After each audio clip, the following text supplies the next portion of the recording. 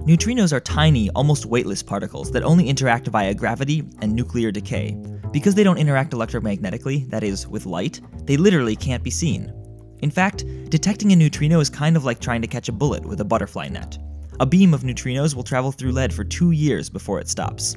In comparison, radiation from nuclear fallout can be blocked by about 10 centimeters of lead.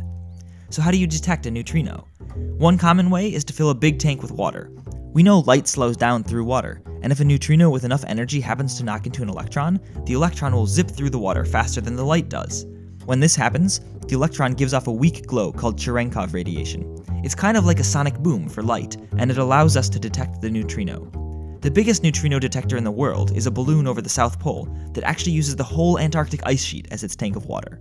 Neutrinos also tell us that the universe is not the same as its mirror image.